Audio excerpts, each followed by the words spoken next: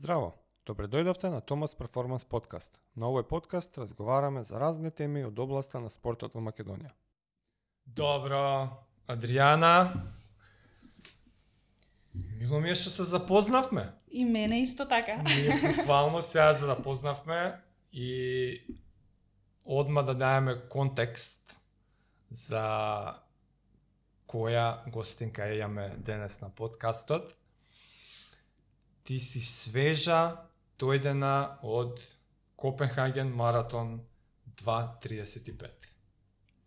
Ја како бивши атлетичар сум beyond воодушевен од такви времиња на маратон. А, така што сите од атлетските кругови верувам дека им е јасно величината на резултатот.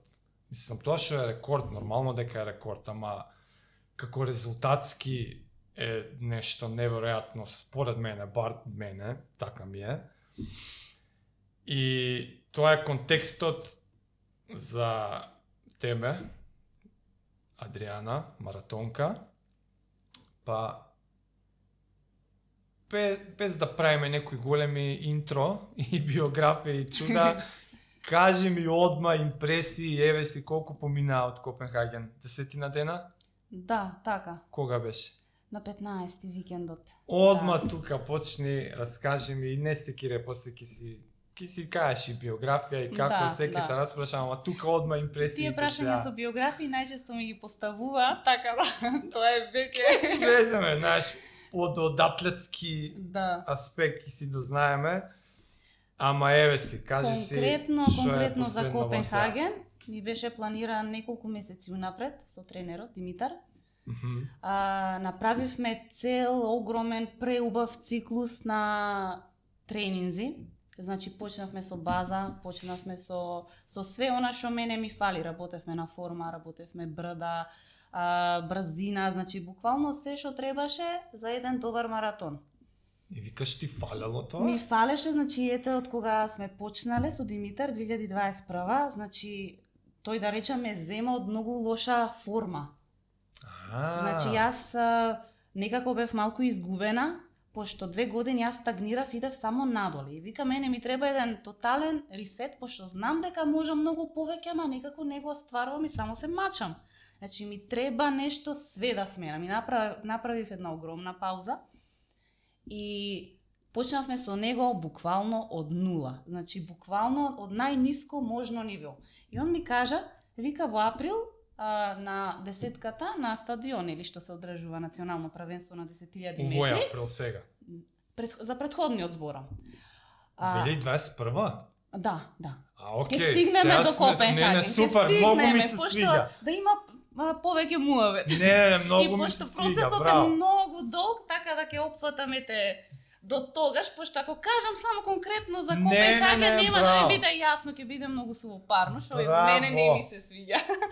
значи, тогаш почнавме буквално од нула, и тој ми вика ќе трчаш испод 36 десетка, а мене тогаш ми беше личниот 37, со тоа што паднав многу во форма кога почнавме, значи 38 39 така нешто, значи онака. Не баш добро, како што ја би сакала. И си викам, ајде, па јас така отворена, ајде ќе правам све како што треба, ќе тренирам, ќе сум си посветена, без стрес, без нервоза, полека све. Башка и нов тренер, па да видиме дали ќе се уклопиме, како што ќе биде неговиот начин на тренирање, дали мене ќе ми се допадне, дали нели и све тоа супер, значи си почна постепено се, значи а, некако многу добро реагирав на сите тренинзи што ми ги даваше. Беше многу постепено и јас прв пат во живот напредував од недела во недела, а јас не осеќав голем замор, не осеќав дека сум психички, физички истрошена, значи сосем нов концепт, значи буквално целиот тренинг на 80%. Никогаш не идевме она Така. 100% на гризење што го викаме Да, на да, интервали, газење. газење, немаше такво нешто. Ја дори тогаш се прашувам, па како, а ја научена предходно, значи да газам, да гинам, да повраќам, она ефтен газање на тренинг што не, не требало така, значи ја не сум знаела како да тренирам. Предходно без тренер беше? А, да, На своја рака. на своја рака и така. И извини, чисто па ради контекст, Ова е више 7-8 години ти си тренираш на своја Да, крака. да, некој период тренирам, ајде сега, не ме, не знам искрено како ги постигнував резултативе. Може Вау. таа желба дека сакам да се надпреварувам. И јас не знам од. Ја не знам што значи тренинг, тренинг процес, циклус, да поврзеш. Јас, на пример, една недела ќе тренирам, па пет дена одмарам, па ми текнало ќе одам на одмор 10 дена. Значи, ја не знам како трчам. Како се најдовте со, со Димитар, рече Диме? Да, Димитар Како Петровски. се најдовте со него? Он веќе тренираше а, неколку вака пријатели и они многу убаво напредуваа, се фалеа, јас инаку го знаев него. И си, и... А, окей. Он вака во повеќе наврати на кафе, вака кога смиделе некаде, ни го представувал начинот негов на тренирање. Мене се Окей. тоа ми изгледаше многу логички, некако многу убаво ми изгледаше. Јас. И така дојдете април, ја истрчав 35 минути, десетка. Ја бев многу среќна, изненадена, значи и викам ова е топ, па јас вака ќе си напредувам цело време. И после имавме пократки трки, па потоа дојде летово, тука имав така некој, да речам, бак со смисла погодина, пократкиве трки, или стомачен вирус ке ме фатеше предходно, или нешто, и значи лошо трчав. Ама викам, ништо, знаеш, ова е само период, ќе помине, ништо и што си поминала ти се предходно, ова не е ништо за тебе, јас сегаш така си викам. А, а намерно со тренеров со тренерот одлучивте толкав рейндж да имаш и од кратки до маратон? А, па Оти тогаш да, пошто и на пример лето, да, да, да, јас трчам и тројки и петки, ама моментално посебно оваа година ми е фокусот на маратон. Ко... Се извини вака што се прекинуваме, не, ама не, не, не е окей, атлетски пошто, да, пошто е муабетов, многу да. широко и не може се од едно Да, да, се и каже, плюс да. апла ништо не Пошто знам, имаме ние периоди, на пример, да кога работиме на десетка, пошто нели ти треба да стегнеш бразина, Малце бразинска издржливост, за да да. пренесеш таа бразина после со нели маратонски тренинзи да се рефлектира во добар маратон. Е, ама знаеш што ме интересира? константно мора све да работиш. Значи, Е, јас па имам зашто? имам и брда кратки по 20 секунди, имам долги, значи буквално се. Пошто е битно да се работи на формата, значи формата најдобро се вежба на Побрз. на побрз пейс. Не Да, може само да. како желка да идеш лесно цело време и да осекаш да трчаш после како антилопа. Ти лично си имаш желба и мерак да трчаш и тројки и петки или го правиш тоа заради овој ефект на форма за на Па маратон? искрено јас не сакам да трчам ништо друго освен маратон. Е, а така, може би тоа ме интересира. десетка на улица и полумаратон исто така ми се Тоа, драги. Е, гледаш. Ама маратонот може да речам дека е моја дисциплина, Што затоа се- што некако нај так. онака мислам дека највеќе можам да се остварам. А, таму некако го изразувам целиот мој потенцијал. Јас на пример во една година да трчам петка и да трчам маратон, јас ке имам највеќе оние ИАФ поени, нели? Да, јас. на маратон. Значи, Ама ај, и плюс го- најмерак ти е тебе, онака Да. лично И ме, мислам дека мерак тело во мене некако ми е створено за што е можно подолги дистанци. Океј. Пошто сите Ама кога ете. ете запираат последни да речеме 10 километри се мачат, јас баш тогаш добивам сила и баш тогаш го правам резултатот. И сега Диме тренерот го знае тоа, дека ти си сакаш маратон, Да, да, да. ама он ти вика, слушај, дури и за маратон, Да. треба и тројки и петки да работиме. Чисто за да го разберам. Да, да, ама тоа е некој краток рабо- период. Пак, работава. пак е фокусот на, на маратон, пак се долги тренинзи, пак. Так, Ама си оди некако многу постепено. добро. Еј си се враќаме сега на приказната. Лани април, идеш 35, гледаш ова иде и Да, па потоа во во летово истрчав 35 рамно, 0, 0 нешто ситно, исто така аха, добар пак го симна. Да, пак го симна. Ова се рекорди, така? Ова се све рекорди, да. Ова е на стаза 10. Првата десетка на стаза, а вторава сега што ја збораме на Скопје ран, беше? Так. И дојде Скопски маратон. Ние немавме некои, да речам, може само неколку тренинзи, ама пак јас имав голем волумен. Ја предходно не работев на неделна километража. Ако предходно јас сум имала највеќе се сега смешно е дури да кажам за некој што разбира трчање дека 40, 50 до 80 километри неделно јас од таков волумен сум трчала маратон. А сега јас, значи, лани стигнував до кај 140. Да, да. Што за мене тоа беше многу. Ја мислев првично дека не можам, ја не можам, викам толкава километража да трчам. Вика, е зависи, вика, како ја трчаш. Ајде, Да. викам, ќе видим. И стварно ја, значи, си поврзував по 140 километри и повеќе Баш. неделно, јас се осеќав свежа, на крај викам, ова е топ, викам, Браво. ја вака од секогаш сум сакала да се осеќам. Ле, чекај, извини, а кои времења ги имаше на маратон? И во октомври на маратон ќе трчаме маратон. И јас вака пошто имав само 16 километри а, темпо за маратон, на Аха, маратонски аха, пейс, испробани. испробани и ми беше малку тешкичко. На тие викам ја овој пейс како ќе го држам на цел, бев малку загрижена. А пеј И за Диме, колку е ова? И Диме, а, тогаш, а, тогаш истрчав 2.40, значи 12 минути личен истрчав, пошто предходно ми беше 2.52. Вика, види, значи уште не го гледаш тоа, Диме, а се гледа целата слика. Ти, значи, 16 да трчаше, ама гледај предходно што си правила, значи тоа е тоа натрупување што е важно. Да, што се акумулира А ја тоа фитнес. никогаш предходно, предходно кидев по 25-30 километри, газење, а можам да го држам, е, значи тој пейс ќе го држам. А уствари не сум го држала Да, тој пейс, да, да. пошто не сум можела. Паѓал. Значи колку други работи од околу, значи опоравок, значи сон, суплементација, ја прв пат почнав со суплементација, јас ништо тоа, јас ни вода не пиев доволно предходно. значи, За време нај- трка или? нај, Општо. Општо, општо, значи пред пред 2021, Јао. значи многу е интересно. Природен таленат. И на Скопски јас истрчав 2.40. Јас ми се чини дека летав последни 12 километри. Јас значи толку бев срекна што конечно јас а, го правам тоа што сегаш сум замислувала дека вака треба се осеќам, ја вака треба да изгледам. Значи уживав да трчаш маратон и да уживаш до последен километар, до последен метар и да сакаш уште дури, а да направиш 12 минути личен, што е многу, Многу. е стварно, значи, она, ептен. Е, Не ми се веруваше, после кога станував са бајле, проверував дали чекај, ова стварно се деси. Види, многу е, ама па кога ќе размислиш, си идела 2.50 Два песта, на, кажи ама, речи, никаков Да, тренинг. ама тоа беше 2019 2.52, а 2020 јас идев Скопски маратон, значи само еден, 2.58. Аха. Значи, паѓав, јас, значи, А, значи уште не знаев што се дешава. Океј, ама си била у тој ранг, 2.50, со 40 на километри неделно.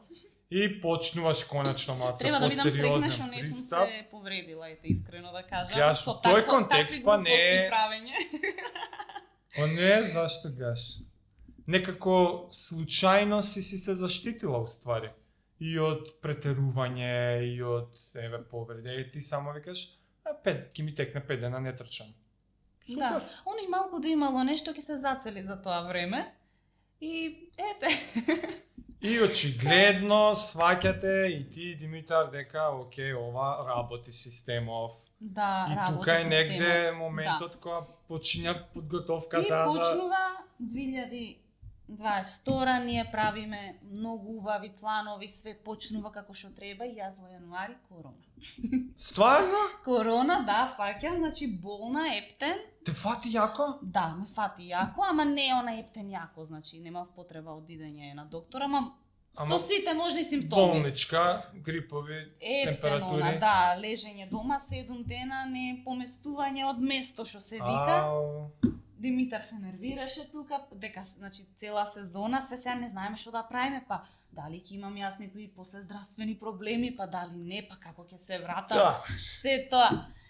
И почнав викам, ја викам, супер се осеќам. Идеме на на спортска да направам преглед нели за секој случај. И ми кажува дека све е окей, значи супер си, здрава си, тоа 10 дена после Мгм. откако нели добив, ама нели тој омикрон не беше баш до толку Омикрон го фати. омикрон си го фатив. Јас почекав, Тоа беше последен, ја више ги заборев. Тој Да. беше последен, да. Вајда. Да, тој најлесниот. Викам, ние си почекав за тој да го најлесен. И така све беше окей, па дали да се почне, дали не, таму ме советуваа да, да одмарам еден месец, викам зошто ако све ми е, јас убаво се осеќам, се осеќам здрава. Тоа дека се многу упатени у маратонски тренинг. И викам моево тело, ние нема да почнеме нагло сега, го ќе си почнеме полека, значи Да, бе, да. нема ништо форсирање, полека, скроз да се воведам во тренинг за да почнеме пак да тренираме како што треба. И вика не еден месец одмор. И јас викам не, Кој вика Јас си го знам. одмор? докторите таму. Аха, окей. Вика, не смееш ништо да правиш, освен разгибавање вежби. А ние колку имаме во ден, значи веќе тогаш јас баш она стигнував убава километража, се, значи за мене разгибавање не е ни стотина од тренинг. Да, те, загре, не е ни И загревање. Викам, ајде ќе почнеме ова малку на ризик, ама ептен постепено, 70-60% и ќе видиме како ќе биде. И супер, од тогаш тргна работата, убаво многу, без последици, без ништо. И направив јас многу, значи до 170 и нешто километри повеќе поврзани. Значи 700 километри во месец правев, не бев изморена, супер го поднесував тренингот, многу напредував и убаво се осеќав цело време, што мене ми беше многу битно. Ова е све оној базичен Да. период која И после поврзавме и убави маратонски тренинзи неколку недели.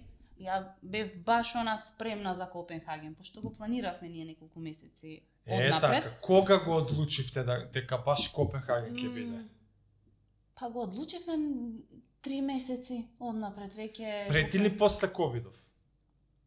Како ќе? Јануари, февруари, март, април. Значи, окей, Да. си го помина ковид, Го поминав ковид, почна почнавме со февруари, и више седнавте, почнавме, окей, да. сега еве ги Да за видиме ние. како иде тренингот, гледаме дека А. све е окей и почнавме, Добро. ајде викам, значи најдобро е да се истрча квалитетен маратон. Се Значи, друго е споредно. баш онакво by the book со периодизација и Да, го да, одбравте Копенхаген, тоаш правиме пик. да, Со тогаш оштрење и- за да, со тейпер, со све. Да, и дека Браво. долг период, значи јас сите си одеа по трки, јас само си тренирав и ми беше некако, ама ментално добро бев, значи, Диме вика, најбитно вика и ментално вика да си окей, не е Да, само физичкиот да, дел, дури и побитен е менталниот дел. Го знаеме тоа. жал- Желбата? Да, и мене баш ми расте се желбата и баш она две-три недели пред си викам јас сум спремна, значи прв пат јас пред трка да спијам убаво, два-три дена да не сум превозбудена, Мм. ма тоа си доаѓало ете од некоја Вау. сигурно самодоверба дека си Стварно направил. толку беше смирена, не Многу смирена, единствено саат време пред да излеземе од стан ме фати она као, ау, сега е моментот, све што си правела, сега треба да го покажеш. Ова моментите пред трката. моментите Добро пред трката. тоа, Ама добра вака- си бев, пошто ми се дешавало предходно, значи да не спијам по ден, два, значи се Да, тресеш, да, значи знам. Стрес, едноставно голем стрес и не, не можеш да се смириш, само на тоа мислиш. Ле, па тоа огромен фактор позитивен што си можела така да, да... да, да. И Колку таму, дена извини бевте унапред а, во Копенхаген? ние стигнавме, чека да се сетам, четврток од вечерта. Четврток Не, вечер, четврток сабајли, извини, четврток сабајли, четврток вечер, петок, со сабота. три вечери, Три убаво вечери, таму. да, убаво се ја Ле, климатизиравме, браво. станот што го изнајмивме беше преубав. Онака баш коузи, баш она за одмарање, за све, она убаво си јадевме, најбитен Само ти дел. и Диме бевте или? Бевме да ние. И значи одмарање, уживање, готвење, она баш баш ко по дома. Браво. Да, Браво. ете срекни сме што така ни се погоди, пошто не знаеш како е со смештај, како Да, ќе се да, да. аклиматизираш, тие работи се многу битни. Браво. Таму трчавме, наоѓавме интересни паркчиња, многу е убаво, значи температурата супер, единствено многу ветер. Значи многу ветер, а ни кажа пред идеме као Бе, супер е Копенхаген, ама многу ветер има као. Ништо на ке има цело време ветер, ништо не е тоа. А ова беше баш ветер. Е сега беше мешан, нели, во текот на трката, пошто имаше многу Да, може вртења. да те подбутне чатпа. Така да, морам да кажам дека имаше малку и подбутнување, па малку во гради, знаеш, да не ни биде Кружна е така, кај стартуваш таму Кружна и е, да. финишираш. Да, Два кружна круга, е, еден круг. три мислам дека се вртат вака, ама многу е со Три круга се? Да, три. Аха. Три, ама по не се истите. Се некои се спојуваат, некои и многу се скања. Многу, не. значи во центарот на градот се трча Аха. и Добро. се фаќаат неколку мостови, многу има сецкања, многу вртења и тој дел исто така ми беше тежок за трката. Сад време пред трка, искачате и те фаќа. Ме фаќа голема нервоза и си викам, ајде смири се, диши. Значи спремна си и така си се смирив. Си се смирив, Диме си беше смирен. Мислев, не беше смирен во себе, ама не сме да покажа, Да, поши да, мене да. му нервози. си отидовме порано на трката. Јас бев а, елитен Б надпреварувач. Па си имавме собствени шатори, одделени Што значи од... тоа елитен Б? А, во однос на предходен резултат, А, самата окей. организација си имаше поставено лимити за А, Да, елитни да, да. надпреварувачи и Тоа е елитни Б како- надпреварувачи добивавме ето од организација ако сакаме да учествуваме бесплат, бесплатни стартнини. Аха, регистрацијата. Да, А да. нешто има врска со стартните блокови, кој каде Да, исто така старта? а, однапред. А и Б елитни надпреварувачи Значи ти си беше со однапред, така да тоа е голем плюс, пошто не губиш време, не може некој да те Да, бутне. да, да. и почнуваш однапред, буквално можеш да, да го почнеш Супер. маратонот како што треба. И затоа, на пример, и го одбравме Копенхаген, дека јас таму се водев со 2.40, од 2.45 мислам дека почнува елитни жени. Јас имав 2.40 и си си влегува во... елитен Да. Б. Да. И браво. Имавме посебни шатори, имавме посебни места, посебно спроведување нели до целта, место на загревање и тоа беше така како со елит третман? а па не, ете на светско кога бев светско во Полска, да, да, окей. полумаратон, тогаш е така. свет, да. Добра е светско, ама вака од овие градскиве маратони. М, па Ваков интересен, убав третман. Софија, Софија Исто вака во полу, полу трчав, исто така имавме елитен третман. Ти си си навикната. Па На не сум, не, ама многу е убаво така кога Па некој како, работи абе види, реално елитни времиња се тоа ти што сакаш нормално. нервоза некои сетници баш нели пред битна трка како на пример и кај да го оста сега треба да чекам на ред да си го оставам ранецот или работиве ми треба водичка ми треба Ако нешто не си знаеш у елит. ако не си знаеш Да, си има да. некои си има бенефити Па са, ама са не е 2.40 и појако. Таман си е, таман си е. Кажи ми, си имавте конкретна тактика, некоја стратегија, пейсови, волку кил... на толку толку пейс на толку километра или Не како ви беше ефтен нека конкретно, као на пример ете на петка, морам да поминам точно тој резултат. Пак беше как, каква ви во граници, во граници беше а, да не почнам пребрзо и да го одам целиот маратон на чувство. Пошто ние и додека Аха. трениравме, а, самиот, на пример, темпо кога ќе правиме или оние побрзи тренинзи, интервали, а све што работиме, работиме на чувство. И тоа зависи од, на пример, колку е топло, Да. колку си одморен, а, како си јадел, на пример, од повеќе фактори. На пример, тоа може да варира самиот пейс од Да, до 5 да. секунди, нели, си варира и не можеш до толку да бидеш ептен прецизен. Така да, Ама па Јас имав ете километри пак од прилика да си бидам од е, 3.35 до 3.40. А не, ритам, збори. Ритам, ритам на километар. На чека пример, да го свариме ова, Да. чекај малку. Ритам на километар, Да, како зацртано некој рейндж, да, од 3.35 до 3.40. да. И почнав, ама јас ја фатив онаа побрзата група пред мене и видов дека идам 3.30, 3.32. Си, нели, по чувство, тоа мене ми е брзо, ајде повлечи се малку Адријана. Немој да се Што, залетуваш, маратон трчаш. маратон браво. трчаш. Да, пошто маратонот е многу битно а, да се само процениш. Да. Да се само процениш, да ги да го процен, да ја процениш нели стазата, условите, како ти тој ден се чувствуваш, што е Браво. многу битно. Да. И за Баш- секоја трка исто така, баш ка за маратон мора да имаш резерви. Јас тоа викам, значи подобро намали првите 10, нека ти бидат спори, ама да не ти бидат пребрзи. Подобро да ти бидат поспори, отколку да ти бидат пребрзи, пошто на крај многу ќе патиш и на крај ќе си истрча лош резултат. А- Ем ќе бидеш изморен, ем лош резултат, значи А тотално кажи незадоволство. Од секојаш си имаш таков став, од секојаш си била таква посет и резервирана и мудра би рекол по трки или ова ти е сега последниве па, сега, години сега искуство? последниве две Порано години. се имаш залетувано? Се имам залетувано, да. А, И окей. јас, на пример, првите Значи, години можам да речам работа, дека немав како- јас ни Гармин. Јас си трчав со обично саатче од 100 денари и буквално кога поминувам, ете ја до 21 километар кај што е А, и било тоа означено, ќе видиш. Аха, окей, значи, аха, идеме, ајде, значи, и километриве не сум ги гледала, ќе се залетам, па ќе се изморам, значи не сум видела она убав ритам. Јас. Ама се ова сега ни беше вежбано на тренинг. Да. Јас јас и без да гледав на сајтот, јас знаев колку идам. Значи, ако паѓав, знаев Дали колку стварно, паѓам. дали стварно, доколку доколку прецизно имаше чувство дека идеш?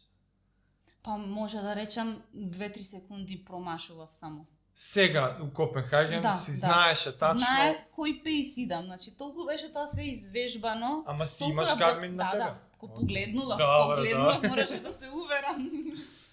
Пошто не знаеш браво. пак е трка. Браво. Да, и така имав убави километри, на пример, најбрзиве 3.32, На почетокот, тоа? Да, што се малку залетав, па после викам, само Така. нека биде од 3.35 до 3.40, ама наидовме на угорнички, на ветер и на тие баш паѓав 3.40 и нешто. Мгм. На дури 3.49, мислам и беше најспориот километар, кога баш ме фати она Срамота. Срамота, значи. Бруки, ти ти Бруки, склучи значи. се од рака. И викам само не паничи, угорница е ветер, ајде форма. Гласот на Диме ми Си беше во испод глава. Си бе, цело време си испод четири, тоа е ненормално. И после убрзав, се смирив, убрзав, значи тоа го вежбаме кога ќе ти стане тешко, пошто на маратон не може да не ти стане тешко, нели? Сепак, Да како да да, се смириш, а, форма, поправаш форма, се смируваш, а, гелови, вода, значи тоа исто имавме испланирано кога, како да го зимаме, нели? Колку мене ми се потребни. А чекај само. До толку детално идеме. Идеме Добра. до толку детално. Колку гелчиња? Па, земав еден пред старт, 15 минути, и во текот на трчањето уште 4. Ти беа на тебе некаде Ми беа или на мене, по да. станици имаше Па не, на оставано? мене, пошто многу време ќе се губеше со зимање, пошто и така губев премногу, пошто а, ваму во Копенхаген не ги подава ко на Скопски, нели? Ти ги Мгм. подаваат со, со рака, па у трчање, Да нели, ги зимаш, да. туку беа на маса и беа некако понастрана. И буквално треба да отидеш, да ја го земеш, некои и чашки беа, на пример, и а ја вежбав со шишенца, а таму Да. беа чашки и истурав по мене цело. Чекај, како е лит, како е лит, немавте онака да си Имавме, оставите сами Имавме, да, да, имавме. о- Ама обележани? јас не оставив, пошто на тренинг вежбав со гелови во мене и со зимање само вода. И викам, Аха, што е вежбано, окей, така ќе окей. се прави, зашто нешто ново да се И тоа, значи така беше, четири гела Четири, с- на ето, тебе пет. Пет и вкупно од со тоа што станиците само вода. Само вода, да. И ми беа доволно ептен, она таман ми беа, со тоа што, ете јас, на пример, проценив во самото трчање, рековме на 12-13 дека првиот ќе го земам, ама дека имаше ветер, угорнички, некако поголем е трудот, нели, што се вложува. М, И баш ке имаше станица за вода на 10, јас го земав на 10. Тоа, и што, сите ги да се- поместив и ми беше она баш таман ви утрачење си викам добро направи. Значи така те фатило негде на секоја десетка, да, да, ама не, Да не идев, освежиш. на пример, после земав на 17, па земав на на 27, па аха, на 34 така мислам дека ми беа. Не гледав до толку као и сега. а, Сега ќе си осетев као ајде во следни 500 метри, ми е као таман да земам. тоа е многу добро, уствари, што си го извежбала тоа. Да, да можеш да. на филинг, да не си онака врзана. Да, да, не треба до, До толку. секунда и Мислам дека да никој не треба толку да се врзува. Браво. Пошто можеш и да промашиш, можеш и да од трчање можеш да не ја видиш. М, Нешто пратња, точаци, Не нема. беше Дим- дозволено. Диме не. си Диме чека си на финиш. на целта, гледаше лайв како се движам, како ќе завршам. Кажи пред да почнеме со снимањето, ти ми спомна малце, ја ти реков, чекај ова, штеди го мавето, за групите кажа, си се надевала дека ќе има група, Јас се надевав дека ние кога гледавме од ланските неи резултати, дека во со 2.35 до 2.32 дека има многу што трчаат. и си викам ќе си имам јас група. Жени и или жени општо? и мажи. И жени и мажи. Аха, општо, окей, општо окей. гледавме. Јасно. Ама не беше така, ете до 10 може да речам дека имав, ама некако а, не иде изедначен пейс, а јас сум научена да идам исто. Нели, да нема многу осцилации, значи Мислиш темпо. самата група многу Самата група, да. И не А, можеш да се погодам така? вака како на пример да си фатиш ритам и со неколку луѓе да трчаш. Што ја многу го сакам на пример Да. и многу е полесно за сите. Да, да, да. И да, ја имав луѓе, ама некако не трчав со нив. М, И се а, после тука 9 и 10 ја немаше веќе групата. А, Едни убрзаа многу, едни А, падна, а се јас си го идев мојот нели мојот пейс си го иде. Па после некое време а, оние позади што ме стигнаа, па се изморија, па ајде малку фативме, пак приклучокше 2-3 километри, па пак ги снема. И последниот дел може да речам од 25 и натака, баш Следниот 25 Пола! пола, да. А на полу поминав 16:43 мислам. 1.16. Да, саат 1:16. 16. И значи многу се израдував кога го видов дека истрачав план или? Па вака немавме пресметано во глава како точно мораш толку да поминеш, Мгм. ама гледав дека добро, Прилика? добро иде. И дека мене личниот на и рекордот на полу ми е саат 18:50 и нешто. Значи ова многу убав личен на полу, а јас кога го поминав се сеќав Озбилно? свежо. Да, да, во битола го трчав. Ма Ти немаш на полу побрзо. Да, да, да. Ти на, на премин на овој имаш поар... Леле. Да, и многу се израдував, онака не ме уплаши. Значи видов дека ми е бајаги личен, ама дека имав многу резерва, нели? Одиме цело време на чувство. Вау. И многу се израдував кога го видов и ми вика не те фати малку стра, викам не, убаво ми беше. 1.16. Значи ти апла го имаш дуплирано, после кажи речи Да, Истиот. Да, да, тука некаде, да. две еднакви Да. половини. Да, и после убрзав малку, ама а, така ме фати некоја кризичка, може да речам. Каде? Па од 25, ама после кога видов на километрите, ја уствари сум убрзала. И Баш тие. и си викам, изгледа ајде, не е голема криза. И после оние баш последните километри беа угорница и мостови. М, И баш тогаш кога сакав она баш да нагазам, пейсот не беше баш тој ја што сакав да биде, Аха, аха. знаеш. Ама пак она на Среќа што си крај убрзала од предходна. среќа да малку да се извлеча. и онака генерално последниот километар го го финиширав, она финиширање баш онако ко тројка да трчав. Да, да, да. Леле. Да, и кога заврши бев многу среќна. се гледаше и по сликите, да, да. све. Не бев премногу она као изгината што викаме ние. Што мислиш, како уште малце имало, а? Па не, не, дадов максимум, тоа беше Ама пак она Океј. кога си спремен, тој максимум давање на трка е различен од она кога не си спремен и даваш максимум. Многу точно. Да, браво, многу точно. Ти си Пошто добро си скро- тренира, да. си дал ти максимум, ти не си можел побрзо, ете не можам да речам, можев Да, побрзо, да, нели? да, не да. можев, толку можев. Ама различно е чувството. Док толку ти е висок фитнесот, што и да се исцрпиш скроз ти, а ја поминеш целта за една секунда. Да, да. Океј. Минута до две ми треба само да. на да се смира малку Да. и окей сум после. Ама сепак нозете. Да, да, нозете бев воспалена, значи дена. 4-5 дена бев баш воспалена, по скали си мнување и Мм. качување ми беше смрт, значи идев со, ако е на втори кат, ја идам со лифт, не идам по скали. Па не, ни многу 4-5 дена, што е луѓе по 3 недели така Да. А бев добро криват. тренирана предходно, така да. Мислам дека- Леле, си испатив само што слушав сега ден, возбудливо било. Да. Кога почна да ја губиш трката, ова, ова групата, кога Мгм. почна да се растура, не ти дое нешто Са, некам паника да кажам, ама така да се засекираше и се доовме тука за група, а ја па сама трчам, ветришта или... Па не, не ме 100% фати паника, фокус. пошто ја, например, пред така голема трка, посебно пред маратон, си се спремам, а во глава си ги превртувам сите можни сценарија што може да се случат, од најлоши до најдобри, Е, баш како да си останам тоа. смирена. Значи јас си го имав тоа сценарио као што ќе правам ако се случи тоа. Баш така си го извизуализира? Да, да. Си го замислуваш Да, вака? најлошите сценарии, најдобрите си ги вртам во глава, тоа недела дена предходно така постепено си се спремам за се и како како би постапила, пошто некогаш во трка толку многу си изморен, и ако од предходно јас барем така си сметам, ако од предходно си немам а, направено некој мини план во глава, И ако предходно мене тоа не ми е извежбано, пошто ете на пример јас и во во тек на тренинг сум нели сум сама и Да, тогаш си да. наоѓам како како да го пребродам тоа, како да се вратам во пејс, како да не изгубам мотивација, пошто главата во маратонот е многу Да, побитна од да. нозете.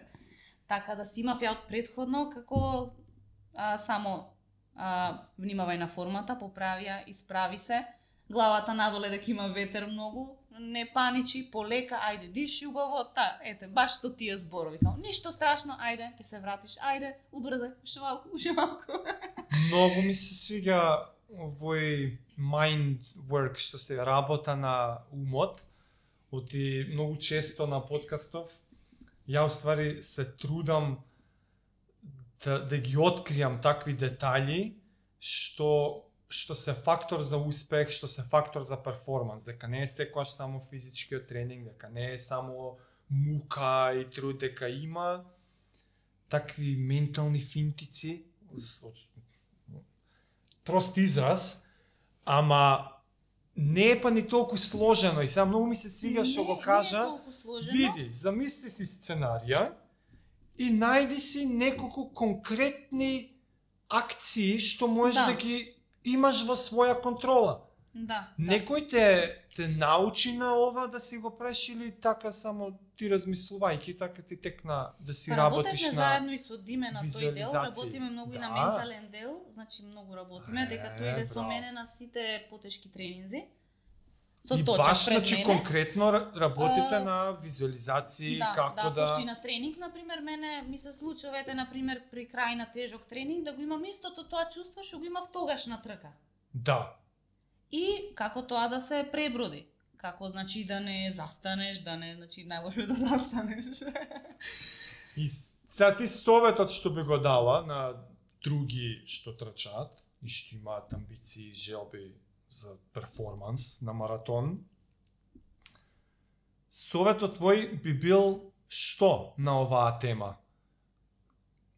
Тие мерки да се такви некои едноставни, не многу комплицирани, Да. Помисли си на ништо чекорот. комплицирано, ништо комплицирано затоа што ете на пример на 25 и на 30 километар веќе се ова голем физички замор и не може мозокот ништо комплицирано Да. овде да да примени. Значи и не размислуваш толку трезвено, значи малку ти и низ магла се. Значи се мора да биде М, конкретно.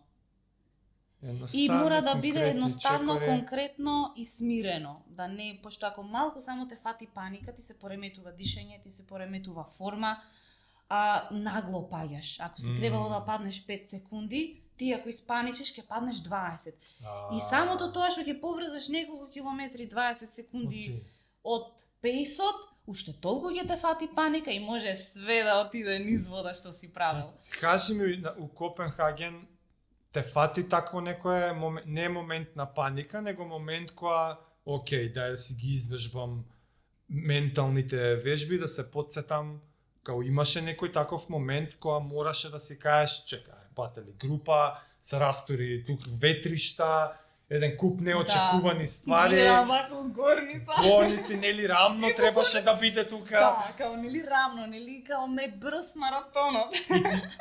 имаше као имаше некои такви моменти и кои едноставно требаше да си се затвориш у себе да, и да па си имаше ете на 25 до кај 30 па на 30 и некој, значи имаше. А, неколку. Ама добро, да, неколку не беше вака. Ама не беа екстремни. Може да речам дека не беа екстремни, не беше пошто бев многу добро истренирана искрено да, предходно.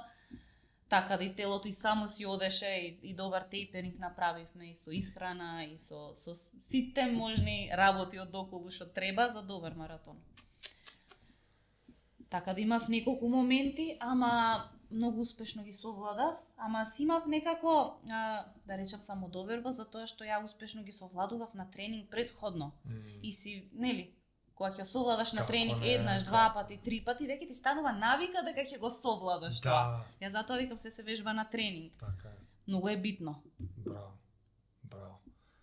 Сигурно милиони браво и честитки имаш до сега добиено. Да. И ја уште едно огромно браво и, чести, честито. А, нешто што ми е интересно со тоа приказна е што за разлика од други атлетичари и атлетичарки, што јас сум ги знаел од мојата атлетска кариера, сите прилично млади, кој од средно школа кој од основно, прилично рано имаме почнато со тренинг. Твојата приказна не е баш Таква. Мојата приказна воопшто не е таква, затоа што јас сум, ете, фамилија и обкружување од мало место, Виничко село, и буквално таму никој не тренира ништо. Значи јас атлетика не знаев што е буквално сега, срамота е да, Да. се каже, ама ни ете ни на училиште, ни во средно, значи воопшто не се обраќаше внимание на тоа. Значи јас не знаев што е атлетика, ја не знаев, значи ако дојдов во Скопје ете и седе во студентскиот Гоцеј, имало скопски Аха, маратон и ги гледам студии. вака, да, за студии дојдов.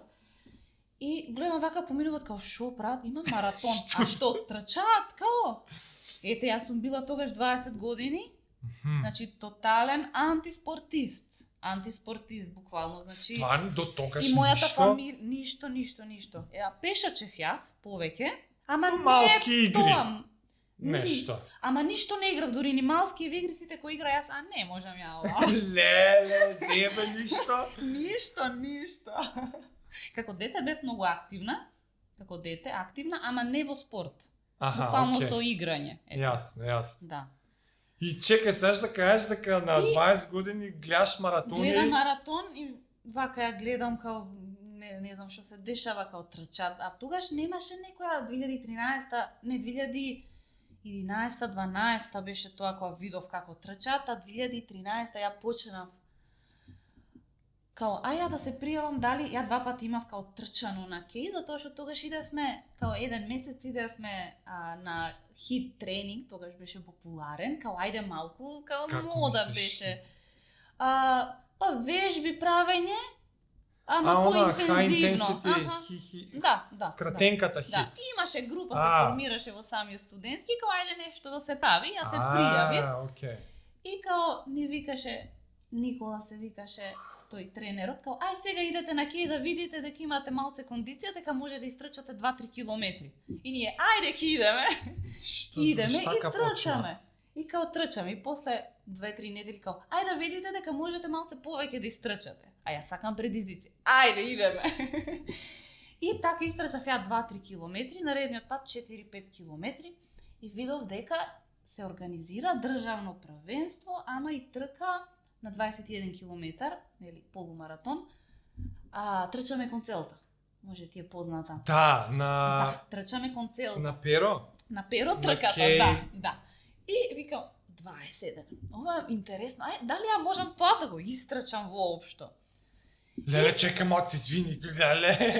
Те и јас пред тој направив Значи, два ба, четири трени, тренинга во Тоа ќе те да прашав, ти имаш излезена на кеј онака Да. и од 4-5 километра ај на полу.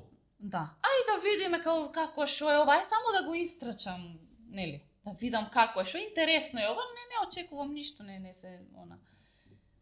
И трчам, јас трчам тука, значи, а нозе превоспалени, пошто не бев ни соодветно облечена, патики на асфалт од оние нај-најтенките можни што, значи, не беа патики за трчање тоа.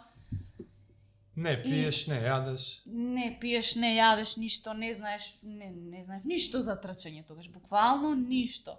Некој И јас- се запознавала со некој. Не, не, не, тркачи. некој, значи моево друштво беше скроз баш антиспортисти, јас така викам, антиспортисти, све спротивно од спорт. Леле. И јас вакво супер, супер истрчав тогаш за прв без тренинг саат 48 полу. И завршив трета од жени, земав медалја, значи тоа беше славење после, као како сега ти тука трета и Перо ме препозна као што тренираш, како Кај тренираш. ти? Викам, не, не, ова само, викам, вака да видам, нели, интересно ми беше. Само така да го истрчам, еве го истрчав, срекна сум и толку ја не, не планирам да се бавам со трчање.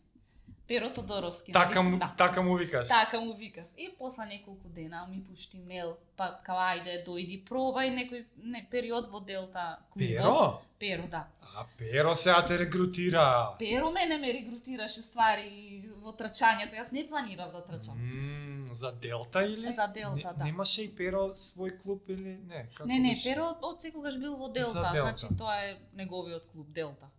И Перо мене ме регрутираш и јас почнав ми бе стана интересно па на стадион, па вакви тренинзи, онакви тренинзи. Ми беше интересно па ајде тука се здруживме со други нели, атлетичари, трчавме па надпревари, ваков надпревар, онаков надпревар.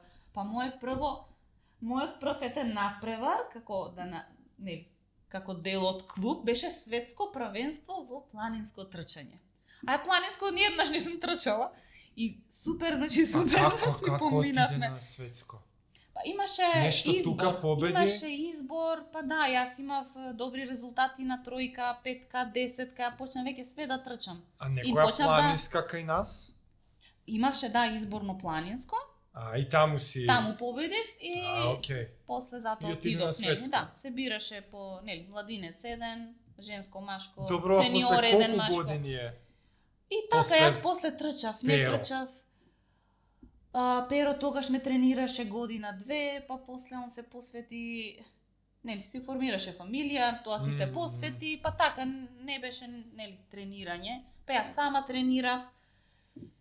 И така 2015-16 она баш имав проблеми со пошто јас не се чував, не јадев здраво, суплементација никаква и некако телово не можеше да издржи, значи бев анемична и тоа бајаги, анемија, значи она ептен. Да, Значи, тоа е... И тука веќе и престана, викам, е нај... честа појава. Да, ама ја не бев свесна, ја сега внимавам на тоа, правам и редовни прегледи, ред, Мм. и крвна слика и се, значи внимавам на исхрана, јас тогаш со кока-кола и бурек и чипс јадење не може. не може, значи не се хранев добро, не спиев добро по 3-4 сати, спиење, излегување, пиење. Значи не беше спортски живот. Студентски- Да. И така Или ми ова требаше... веќе послед и валјда И после а, Завршуваш студии 2007 умеѓувреме? Да, да, завршив студии и почнав така да работам, ама со скратено работно време и 2017 викам ај ја малку да се стегнам вака со трчање во зашто да не нели и од тогаш почнав рекордиве да ги рушам. Мгм. Значи на полу, на десетка, после истрчав а, прв маратон и од прв го соборив рекордот нели во маратон, тогаш првиот мој 3:07 истрчав. Ама без спремање Ова е на некое. Скопски или? Не. Загреб. Аха. Загреб го трчав тогаш. Кога е ова? Ова е Ја не, не знам дали беше крајот на 2017 или 2018, ама мислам дека беше 2017 првиот. Ова е дурси сама на себе. Да, да, да. Без тре, Да, без да, да. програми, да, немаш без ништо, периодизации, без ништо, не... ништо, ни трчаш да на немав кеј, тренинг. као ки ти текне, идеш Да, в Загреб и рушиш рекорд. Така беше, да. Интересно беше што јас рекордот, не, Загреб е многу интересен маратон, затоа што јас отидов само да го истрчам. Затоа што јас, нели, не бев спремна за тоа. И јас отидов со цел само да го истрчам, јас претходно го имав истрчано Охридски. Да, 30, ќе те прашав, не ти е 29, валјда 600 прв пат. Да. Не, чекай, прв пат ти е 42. А прв, а, прва поголема дистанца ми е Охридски маратон, Добро. што се одржаваше, сега нели го нема веќе. Тоа е 30 километри. Да. И нели е малку потежок. Тој што е до И- Светинаум или како не? Од Светинаум да, навак. од Светинаум, Да. Охрид центар тука нели се финишира. Тоа ти е најдолга дистанца. Најдолга дистанца, да, истрчено, ама без тренинзи, без неделна километража, без, Так. например, ако таа недела сум имала 30 само трката, предходно сум имала само 10 километри цела недела, значи М. 40 километри, доста толку. Да ги наречеме диви години. Диви години, да. И Отидов ја Загреб, викаме само да го истрачам со моето саатче од 100-150 денари. Викам, ајде ќе видам премин како ќе ми биде на нели, на полу Чекај, и ќе се проценам. Значи прв пат идеш 42. Прв пат идам 42, тотално неспремна, идам на маратон. Ќе трчам јас Леле, маратон. кој те убеди да идеш? Сама си се убеди. Нешто група, клуб, делта, нешто, идевте натака група, како уопшти ти текна, ајде да му загреб. Ајде да идеме така бев тој период. Идеме, идеме, ајде, трчаме тоа, може, ајде. Значи, Бевте поише, значи, од тука отидени. Uh, се сетам вака. Па да, имаше. Имаше. Так, Ама си трча, пошто имаше, нели... Не, не сум била сама. Да, да. А, имаше и полумаратон што си трчаат, нели? Мислам Да, имаше да, и десетка, да, нели? да, Како да. на секој поголем настан десетка, полу и маратон. Јас маратон Океј. ќе трчам. И со саатчето немам појма ни пейс, ни како, ни што. Поминувам јас три, а, саат 33 на полу. Еј, викам ова топ. А нити имам гелови, не сум земала ништо. Вода не сум пила, не сум јадела добро предходно. Почна веќе дехидрација, почна грчеви јаки во стомак. Викам, ја ми е гајле, ќе си застанувам на секоја станица, дека имаше освежителни станици, ќе си јадам. Овде бананче си земав, па си стојам, лимонче си земам. Да, застанував, значи. Ај ќе застанам, овде ќе застанам. Јас добив дека од дехидрација, несоодветна храна, баш ка беше топло тогаш, многу, значи многу јаки бодежи, значи ја не можев да се исправам. И Во стомак грче? да, да, во стомак. Значи многу лошо. И башка лимони, портокали, значи кај тоа Адријана се јаде, значи смешно е На сега. кој километар тоа те фатило? Ме фати мене уште од 16 натака, јас Ајде! решена да го истрчам и нема тука, нема сила што мене ќе ме сопре, ја да го истрчам само. Леле. И- О, чек. А, Нека звони. добро, Нека звони, не е сигурно хитно. Се јавам после. добро. И значи многу јаки грчеви, ама јас се одлучаа, не знам кој пейс идам, значи. Последните јас а, уште 3 километри до крај, јас сваќам дека за 20 секунди јас ако спринтирам буквално можам да истрчам државен рекорд. Е, баш ќе те прашав, значи ти си свесна Јас сум свесна колку дека е резултатот? Да, пошто на преминете јас гледав нели на 5, 10, 15, Океј, 20 да. гледав Сега не знам ја пејско идам, ама гледав од прилика се пресметував. Ама чекай мате, ти идеш прв пат трчаш 42, ама у глава си знаеш колку е рекордот Да, и иако ти е прв пат ти негде позади у глава си викаш да. тоа ми е таргетот. И викам, не, ја отидов да го истрчам, а во, во сред маратон одлучив. Да, да, отидов, ама чекам, ама се. А викам, па ја можам рекорд да истрчам државен тука. Ле, Ама толкави грчеви ја не можам да се исправам. И како викам сега јас ова да го финиширам, треба, значи, од прилика си пресметав, аха, од така, така, значи морам ја бајаги да убрзам ако сакам рекордот да го фатам последни три, значи буквално треба на ептено на максимум да се распаднам. Ајде викам, до тука издржав, има уште. Ама толку јаки грче, викам, ајде сега, трчаш 500 метри, имаш 10 секунди да одмориш она, буквално да земеш воздух, пошто ја не можев да се исправам од толкава Така болка. правеше? И така правев, значи преку 500 метри, 1000 метри, јас застанував, трчав, застанував, трчав и го фатив. Тоа беше многу интересен рекорд. Со паузи, значи идеш, застануваш, идеш. Мораше да застанам, ја не можев повеќе од 500 метри со грчеви толкави да издржам да И трчам. после одиш неколку чекори или Не, стоев свитка на вака, нели треба притисок да се прави. Пукаш 500, Да, ги стоиш, максимум, значи. пукаш 500, Ова стоиш. не го правете никој ме мол. Ова Бој не да е за сака некој не може да го прави ова човек. Катастрофа, значи. Ле, Ама го ле. фатив. И постави рекорд Да.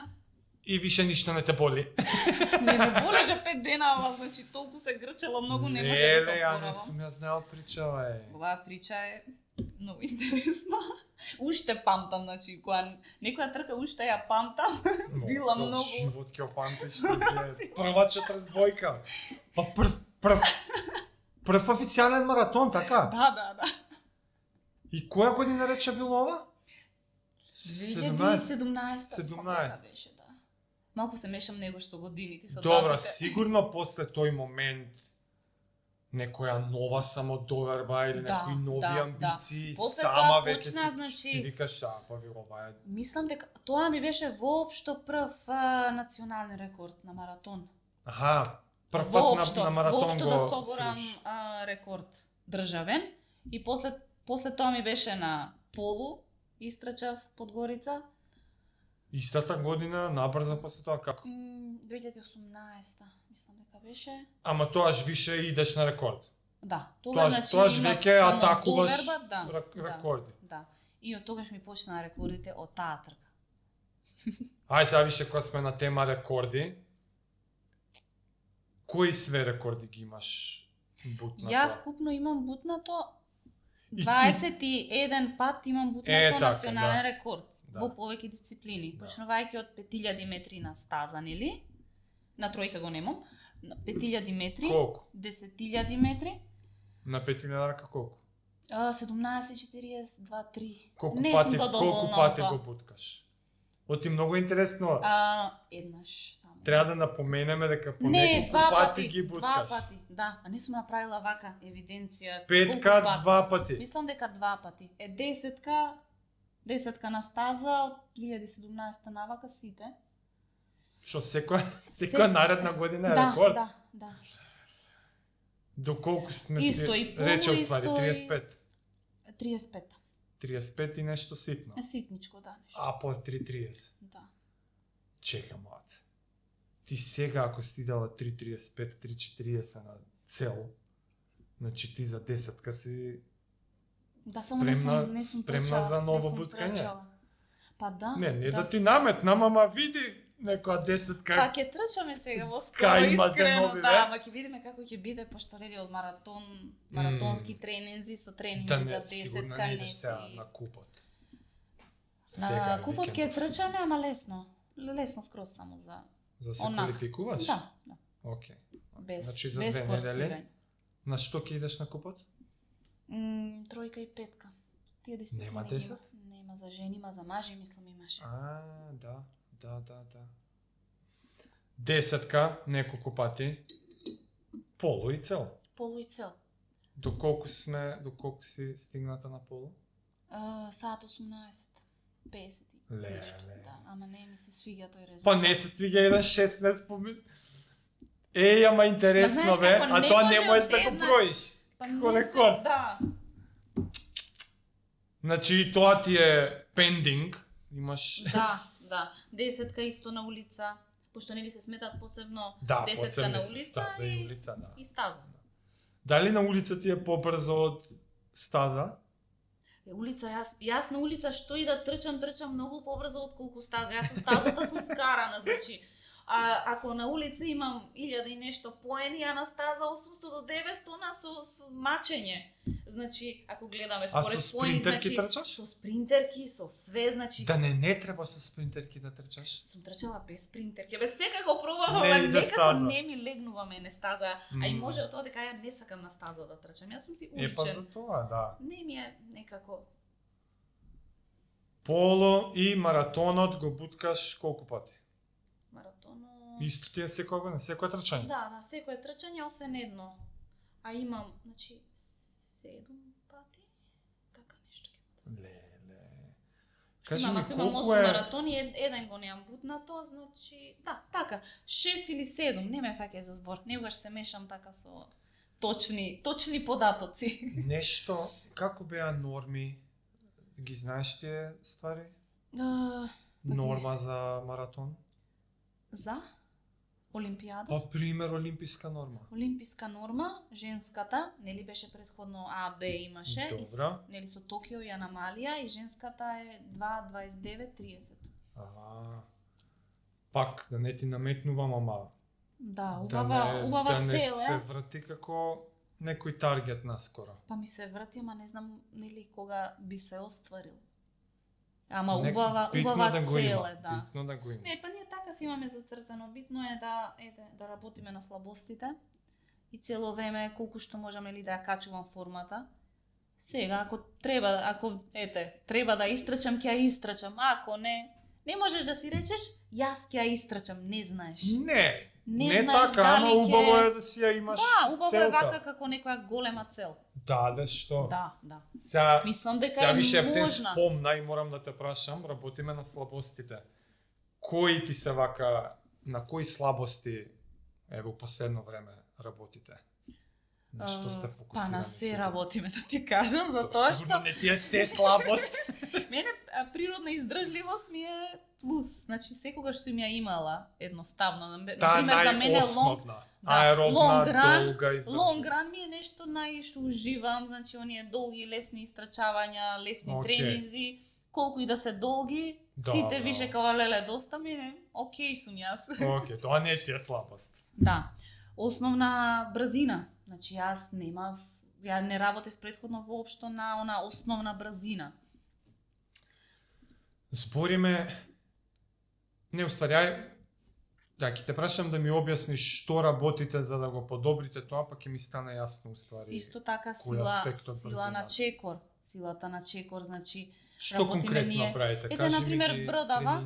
брдата што ги правиме, почнуваме Аха. пример, ама во базичниот период највеќе, па после поминуваме нели на Значи на рамно. работите а, брда како подолги дистанции или кратки спринтчиња? Па имаме и кратки спринчиња, колку На само за огорец. стимулација, на пример, може да направиме вечерта, да речеме, ајде 5 по 15 секунди, Аха, Тоа е нели окей. кратко, мало спринче, за другиот ден ако имам темпо или темпо интервали или некој така А. тренинг за да бидат нозеве добро На- стимулирани нели. Надразнети А имаме на пример и long run и ќе фатиме дел а, со брда.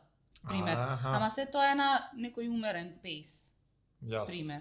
Имаме и изолацијски ете тренинг на пример, а, као после интервали идеме на брда. Ете на пример. Вау. Така да а, Ова во еден диме ова све смислува. диме го смислува како што до секунда, значи можам да кажам дека во една на- недела имам се. Од кратки спринтови, од забрзавање, од работење на форма, од многу лесни истрчавања до кратки, брзи, а, брда, лонг ран, значи се. Диме јако што видов е прилично младо дете. Да, да, да, да. Он е дипломиран, Дипломиран, некако, да, Од да. каде па он е навлезен во тренерските води? Па он има трчано предходно и паралелно студирано. И На- од како на заврши, физкултурно? да, Аха, да. значи он си И од како заврши, он веќе имаше неколку луѓе што ги тренира и си имаше многу убави големи скокови, значи со нив. на тие што ги- аха. Да, и еве сега па можам да кажам сите вака што сме подобри, ете, мој збор подобри, пошто сите си се добри на свој начин. А ги тренира он, значи ете, Милјана, Тасе, мене, Јасно. а, гиш, значи не има многу вака што сме ете секогаш на подиум, сите сме во Делта. Он и тренира оние на некој сите надвор од Делта. А, па да, да. Тренира и некој што е надвор од Делта. Да, да. Не, Значи мој... не е како клубски тренер, па само мора само во па не, во Делта не, да не. оперира. Да. А, окей. Ама и он трча И он Се трча, уште, да. така? Да, да, си трча и он, ама тоа му е за здравје. па се надпреварува и све значи, ама пак повеќе е насочен кон тренерството. А, сигурно некоја што тренинзите бараат пейсинг партнери, тренинг партнери или можеби не за долгорочно, ама еве интервали или некојаш пожелно е, знаеш, со некој рамо до Да, рамо. да. Имаш некој така Немам, партнер немам, или точак? освен на, на лонг ран, например, може да се погодиме со некој дел, ете, буквално диме до мене трча, заедно си ги правиме. Аха, а И точак ете- нешто? А инаку на интервали е диме пред мене со точак. А, така. Да. да. О, ти знаеш зашто сега предвадена беше Игор, Мгм. MC, и со него падна слична тема, кој му е на, на Дарио тренинг партнер. Оти кој може да трча Не така? може да има тренинг И MC вика, и MC вика нема, точак, и тоа е. Да, И да, тоа не многу може. прецизно и сега ми текна да не случајно тренираш со некој од машките, Па не, до сега Па да се наоѓаш- немаме погодено, затоа Така. што ете јас, на пример, мене трчањето ми е единствено нешто што го правам. И, на пример, ете, јас идам, на пример, рано од Сабајле, касно на вечер, значи, Мгм. зависно од временски услови од се. Сега некој, генерално, другиве си се вработени. м, и не можеме толку да се погодиме. Така да немам до сега најдено, а би било убаво, значи го мислевме и тој дел дека би било убаво и покрај точакот да нели си имам некој со Да. кој би Па трчала. вие реално сте ептен колку година дена работите заедно? Со О, Диме? Две, оваа втора. Е добро, тоа е Да, пак 2021 од самиот почеток и прилично не би рекол Па да, рано, кра- ама на пример ако замислиш сега една 10 годишна соработка, да, вие на некој начин уште си ги учите да, да, баш кој така. кога му одговара, што така. му одговара, он како сигурен сум дека он како тренер кон тебе наблюдува некои ствари за кои што ти не си свесна. Да, да, да, да. Он некогаш е посвесен и Да, познае с- како и што, на пример, и во самиот тренинг некогаш ние а, менуваме.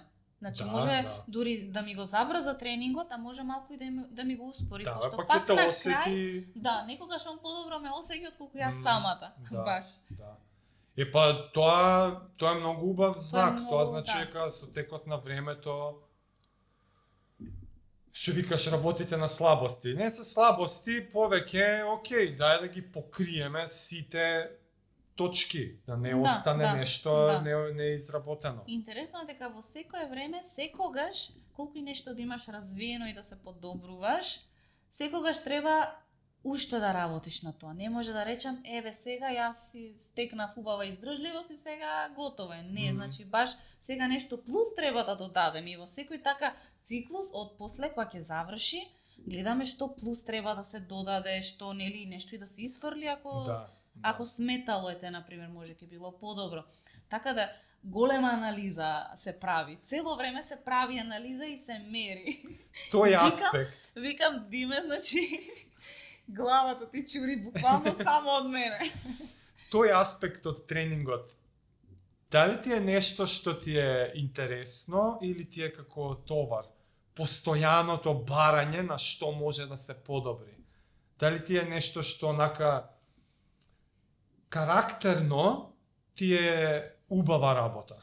Или ти е Па, малце карактерно, убава замарање? работа, пошто секогаш кога нешто ете не Например, јас кога почнавме брдо да трчам, јас не може брдото да го искачам, значи, ме беше смешно дури. Оние дрилс што ги правиме, Аха. Ја не знаев да ги правам, значи тоа беше смење, значи, а сега скроз Мислиш на друго на, ниво. на снагата на ногата? А, па да, да, тешко ти е, значи не знаеш нешто да го правиш и го учиш ко мало дете, нештото да го и го совладуваш. Стварно, да. Го совладуваш, буквално ти е нешто ново. И кога ќе видиш за неколку месеци кај стигаш, оно на почеток е да све нели телото да се навикне, тешко ти е, може некогаш она се буткаш да отидеш да го направиш, ама кој ќе ми текне дека ќе има бенефит многу убав Ти за е неколку убаво. месеци, тоа чувство ми е убаво. Ето, а да. некогаш нешто и не ти се прави. Кој Еве, ќе... на пример, вечерта не ми се истега, не ми се масира или А. нешто така, као, мора да го правиш, пошто за два дена тој јакиот тренинг, сегаш така Да. да. тој јакиот тренинг, може нема да можеш да го завршиш и ќе ти биде криво. Да, леле, скроз знам. Да. Скроз знам. Така да правам јас ситници цело време, што не сакам да ги правам во моментот, ама знам дека ќе биде нели супер ако Океј. ги правам за мое добро се ги правам и не се бунам. Да. Кажи ми што а, што ти е конекцијата со со MC, со Игор, со MC Running Team? М, па Каква период соработка 2000 со него? Да, па идевме ние заедно на трки, исто така и пријатели сме. И Чекај, пријатели сте од, од предходно? а, во текот на трчањето. Значи да, ќе се погодеше, он ќе вози, Тркачки не носи на трки баш буквално тогаш, значи не, мислев во да не се знаете свет. нешто од надвор од трчање. Не, буквално со Тркачки трчање. другари, Да, да. окей. Па еден период а, некои тренинзи ги правевме заедно на Кеј. И така. Ама Значи- случајно, плански, како Па не како беше дојде до соработка? толку, не беше баш толку плански. Еве 2020 со короната Мгм. сакаше да ми помогне на некој начин и Аха, значи Трчавме- он ти пристапи. трчавме заедно, ма ние се знаевме и мислам и предходно сме во комуникација цело време. За тоа што ете, да речам може тие десетина луѓе што сме така најактивни, секој со секој се она, се дружи, се знае, така Да. може да речам. дека нели септен ми е свеж муабетот со, Да. со MC. Ептен ми е свежо, завчера беше и објаснуваше многу убави работи, Да. значи многу убави работи. Сме трчале заедно за- и на трка исто така, значи Кој че, кој ќе кажеш заедно, мислиш као а, пейсинг некој? Да, да, да. Да, да те влече или да... Да, така, заедно окей. да трчаме, да. Ама гледаш, ме интересира како дошло до тоа? Кој, кој кого прашал? Па некако За да дојде трчате спонтано, заедно. не беше тоа како не беше така, значи кога е све на пријателска база, не е некако прашување, као ајде идеме, ки идеме, знаеш. Онака баш. Оти геј, MC Running Team не е некој, не е регистриран клуб. Тоа е едноставно дружина Дружина, да. обединета од некои си заеднички принципи и Да, ставови кон спортувањето. Да. да. што ме воодушевува како концепт и како ете некоја желба на Игор да да има некаков придонес. Да. за ти си очигледно дел од тоа или не? М, Од MC Running Па Team. не, јас јас и Диме на пример сме се она баш сами за себе, може така да речам. Последнава, аха. последниве откако јас почнав со Диме, буквално ние сме сами за себе, Значи, може која- така да речам, како дел од Делта клуб. Ние сме сите под е, Делта. Делта. Делта како професионален атлетски клуб. Значи сите оние ствари што MC ги прави за Дарио, као као менаџер да речеме, со тебе не е тој тип на соработка.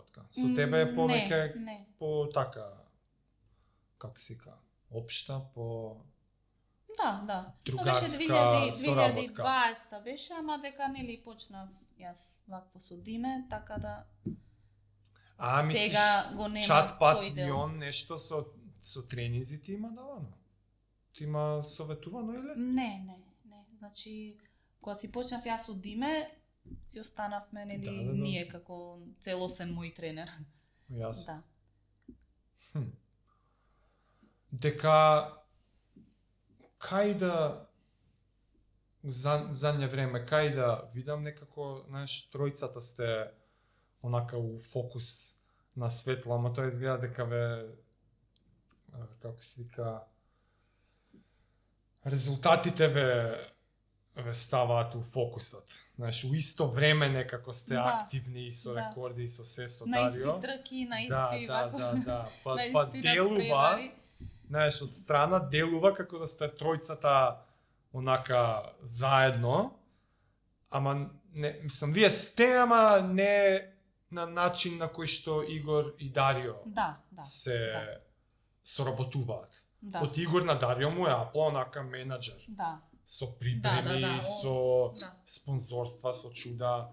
Е па такви работи на пример на тебе, кој ти ги кој ти ги средува, кој ти прка да ти договори да побара спонзорство за нешто за тебе, да ти ургира за некаде на припреми. да, Да.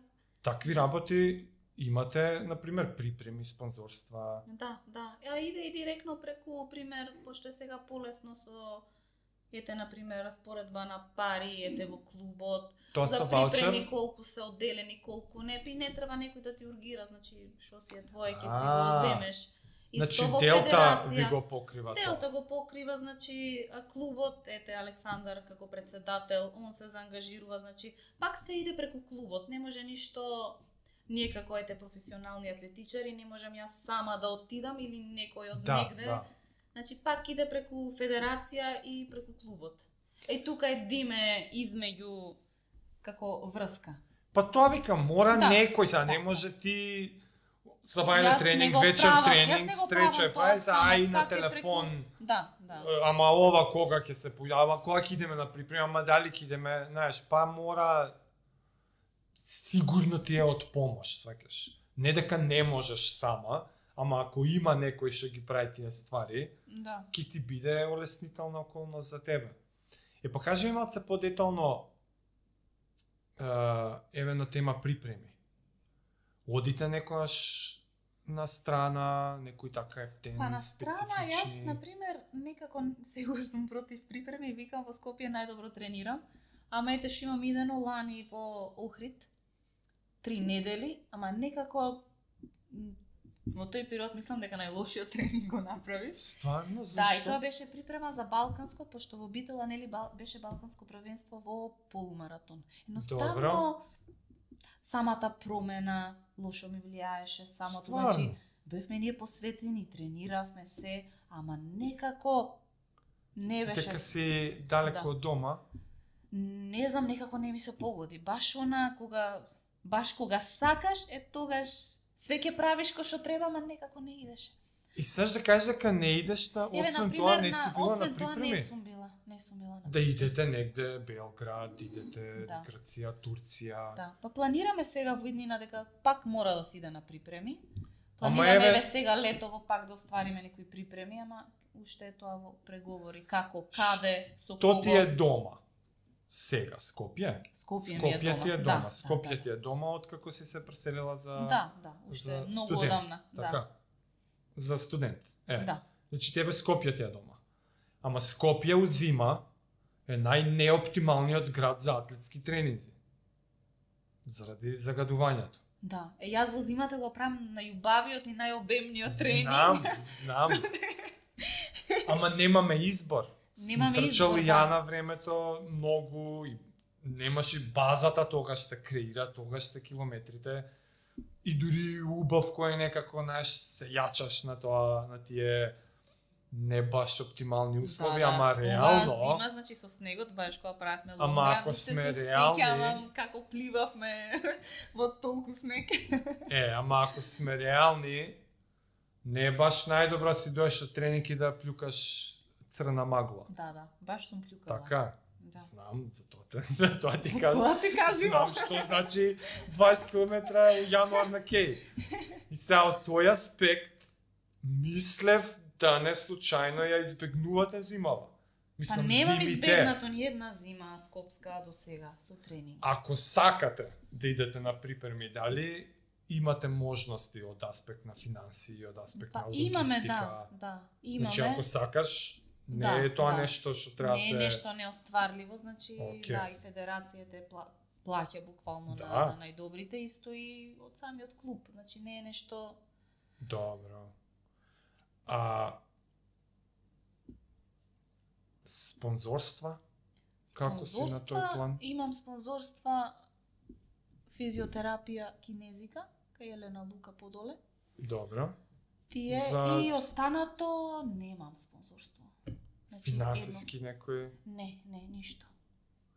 Значи, финансиски ти си подкрепена од ваучер системот. Од ваучер, од ете, наменски средства, од остварување на резултат како награда, од освојување места на подиуми. Од Значи, самите така. подиуми, тоа е како Да. награден Да, фонд. да, да. А Белки можеш да откриеш а, како се движат, не зашто, ти мене ме интересира. Не за друго, одамна немам трчано. И, например, пример не ти конкретно, мислам, ако сакаш и тоа, кажи го, ама, например, каков е наградниот фонд во на балкански маратони, каков е наградниот фонд еве во Копенхаген. Знаеш, направи Да. некоја според Па, кажи На Балканот генерално ете за прво место во маратон од 2000 до 4000 евра ете се движи. Мгм. А, имаме и некои други трки, како например десетки, полумаратони, што може до 1000 евра, ама не повеќе од тоа. И чекај, збориш И- 2 до 4 е за Прво место, прво место жени подиум, да. Белград, Загреб, за тие збориш? Софија, Така, да, да. имаш фатено некои подиуми до сега? Па имам, да, имам фатено подиуми, а идев ми на пократки трки. Исто и ете наменски средства добиваме од самиот клуб, од федерација. Што значи тоа, ваучер. извини, наменски средства од клубот?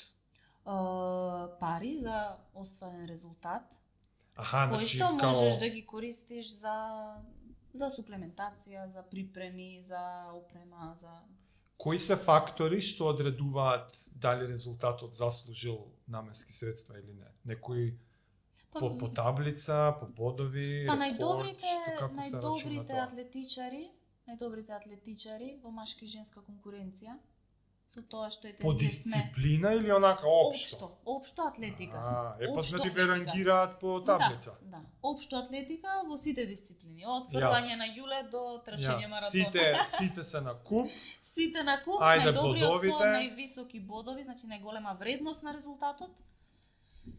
како рангираш ти моментално со 2.35? М, Прва су моментално, Колку бодови е тоа? 1080. Да, Помина 1000. Со 2.40 има 1030, мислам, да. А опа, и тогаш си И била тогаш преку 1000. поминав, да, и сега 1080. Значи на ранг листа на атлетичари. Моментално, ама уште трча, така да не знаеме како. А воопшто најгол највисок резултат воопшто во атлетика мислам дека има Дрита Ислам 1097 поени така. Мгм, мгм. 400 препни, да, Да, 57 да. нешто така. Да. Да. Ако збориме Аха. за воопшто нели во, во атлетика највисок резултат. Јасно. Е А подобро ти си моментално- втора. Моментално, нели пошто годинашно ако се гледа, моментално највреден резултат е мој. А, оди по година. Да. Оди по Да. година. И, и сега, значи има ранг листа.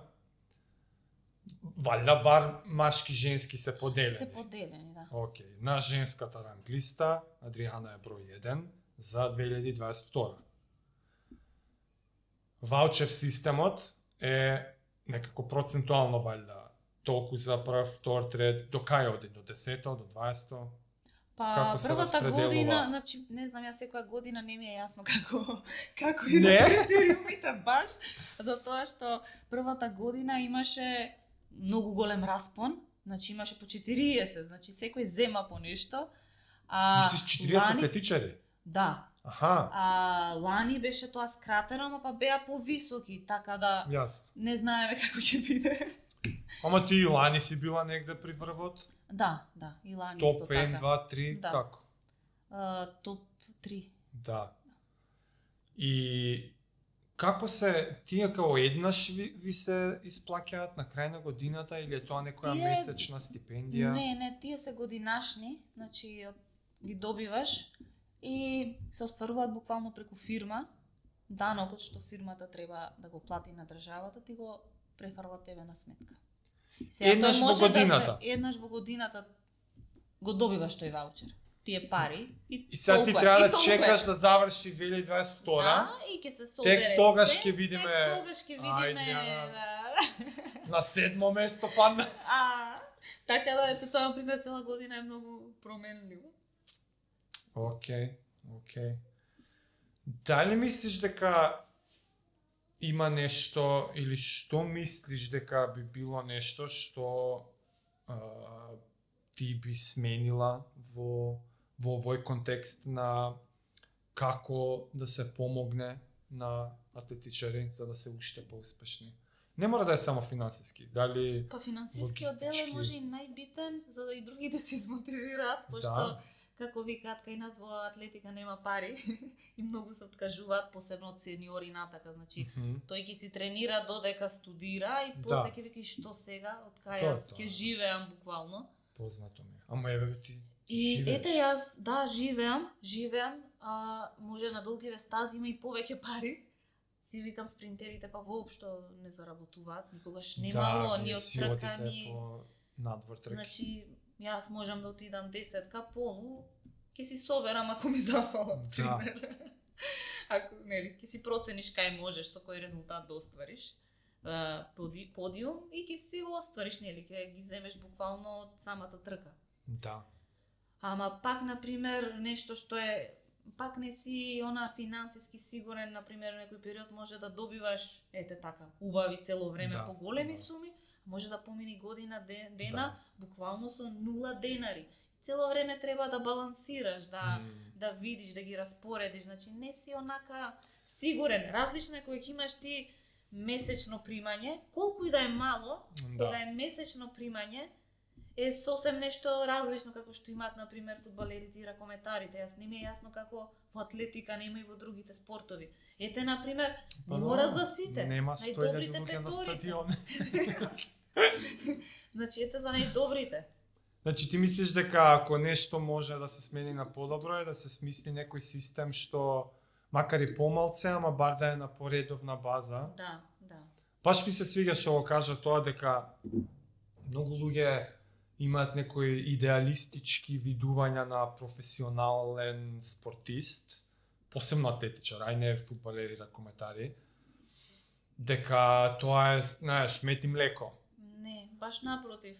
А, ама е баш тие ствари се несигурни, ти може да имаш серија добри трки, една сезона, ти се да си супер на фитнес ниво, ама наредна сезона нема. Тоа е, Да. може Или да не може, ти се погоди да, толку продуктивно. ете ти ќе си на ете многу висок левел, ама ќе отидеш на маратон, кај што да ти ќе направиш може и 10 минути, многу бав резултат, ама пред тебе ќе има 15 луѓе. Ете, буквално се Да. погоди, таква ти била среќата, е таа година, многу добри се пријавиле, ете, Етиопија, Кенија и некои други вака појаки, се пријавиле, ако ти имаш супер резултат, да Ке- паднеш на 15-то М. место, а со тој резултат на некој друг може ќе си трет, на пример. Да, И да. со послаб. Значи, не знаеш, кога ќе отидеш ти, Чек, не да. можеш да сметаш дека ти ќе земеш пари, Нормално. посебно на маратон. Да.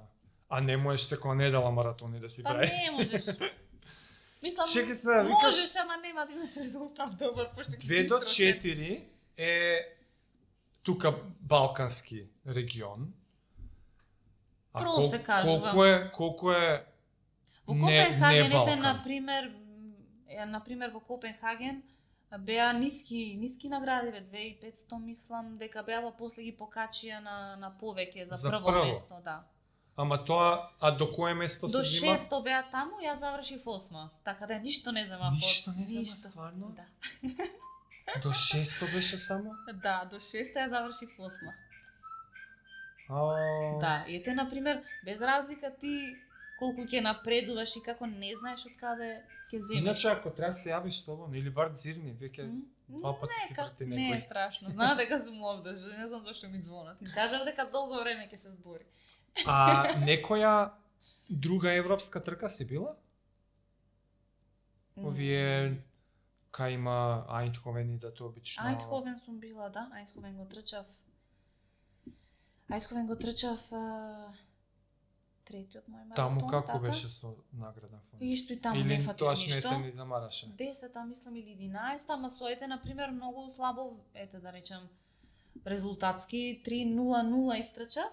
И Аха. после тоа нели решив да го симнам испод 3, па во Подгорица 2.59 истрчав, значи баш она. Сега во Подгорица земав, ако збориме за пари земав, а ваму не земав, значи. Да, да, да. Е па добро. Да. 2.35 е веќе ва- вака на балканскиве трки Белград, Загреб. Дали е тоа подиум време? Па Сигурно да, е да, тоа е подиум, тоа е веќе баш она, убав резултат, подиумски резултат. Па пак, ете, ако сакам да го подобрувам, јас и во иднина ќе имам еден, два да речеме, може би и три маратони годинашно. Аха, аха. Да, добро, да, окей. Не, не дека ова многу сум ја љубопитен и за Да. тоа прашувам. Пошто ете мене целта, на пример, јас можев да продолжам, пошто имав период 2019 јас имав 23 трки. И јас тогаш си направив заштеда, зада, и на сите земав пари, значи може на 2-3 не сум земала. Значи, Чекам, 20 23 трки имав, да. Значи, јас само се од преварував. десетки до маратони Да, да, до све, се. све што може да се трча, трчав.